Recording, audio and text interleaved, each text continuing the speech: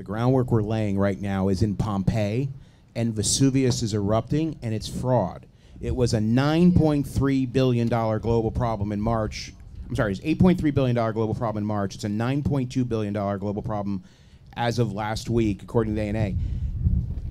I want to stop everything and fix that before we move on. We cannot continue to be in denial about the 8 million pound gorilla in the room. Until we fix that, all of this is theoretical and it's less interesting to me and to my leadership by the hour. This is the biggest threat we're facing. All this other stuff is just the operational blocking and tackling that we're going to go through.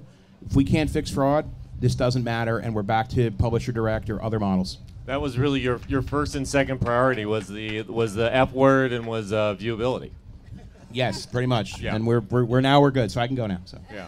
Well, well, well, Lou, talk another minute. I mean, where where does that start? I mean, because it it seems like uh, attribution models are failing, and ultimately, like there's some of your peer group that's allowing this money to go in that should be, you know, demanding better behavior. I mean, you just did, and yeah, I, I where's think everybody else? you know I think that you gotta you gotta sort of follow the money, right? Where is the money going, and how are we shutting it off?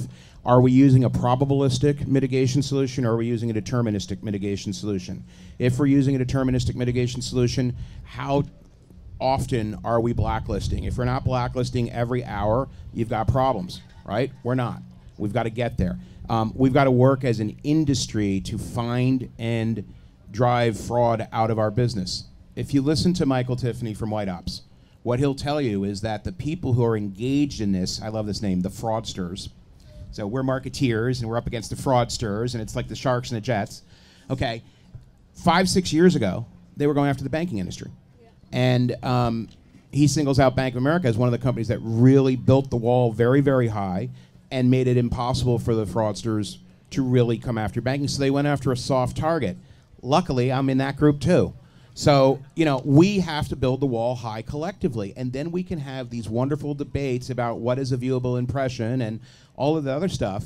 But right now, they're coming over the wall and they're taking our money.